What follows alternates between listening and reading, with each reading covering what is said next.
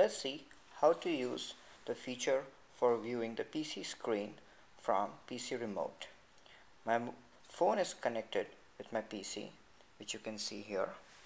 I click on the desktop and now I'm able to see the PC screen. I can zoom in, I can zoom out, I can even type.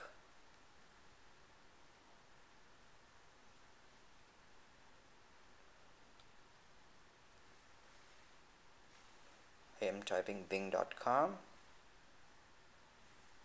and it's typing on my PC too.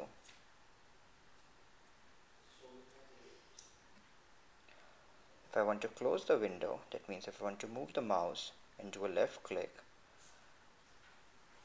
I just tap.